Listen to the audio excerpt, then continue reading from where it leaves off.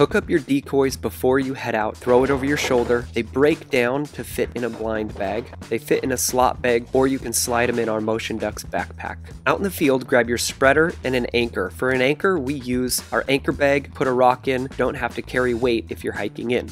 Open the spreader up, put the arms into the center hub, takes just a few seconds. Hook up your anchor and toss that in the water. Hook up a second one to create the ultimate spreader. Disconnect one decoy and hook that arm into a decoy on the other spreader. Then hook your connection bar into the clips, one from each spreader.